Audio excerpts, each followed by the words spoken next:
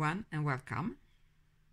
It's time for Mission Inspiration for December and the theme is landscape. And then we got some prompts too and the colors.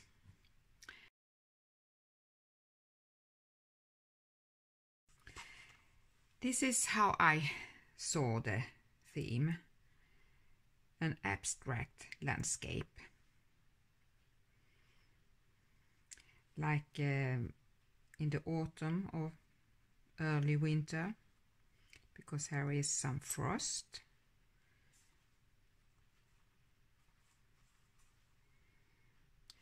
This page and this technique can look very messy and ugly up till a point and then it's changed.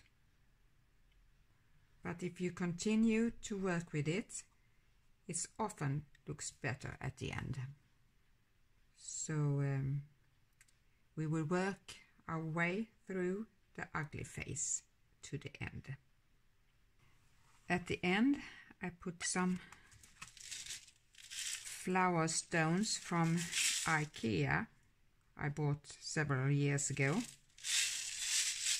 I always look for things to use in mixed media.